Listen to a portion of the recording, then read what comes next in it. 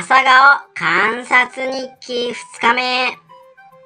まださすがに何も出てないね。どうかな？土は乾いてるのかな？ちょっとだけ湿っぽいけど、乾いてるね。お水をたっぷりあげないとカラッカラだ。よし。ゾウさんのじょうろにお水を入れてくるぞ。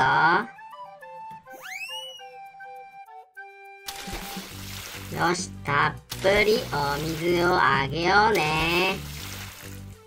今日も明日一日になるだろうから、すぐ乾いちゃわないようにたっぷりあげよう。よーし、これぐらいでいいかなペットボトルにお水も入れて、下の方は乾かないようになってるぞ。よーし、2日目の観察日記はこれで終了。明日もまた見てね。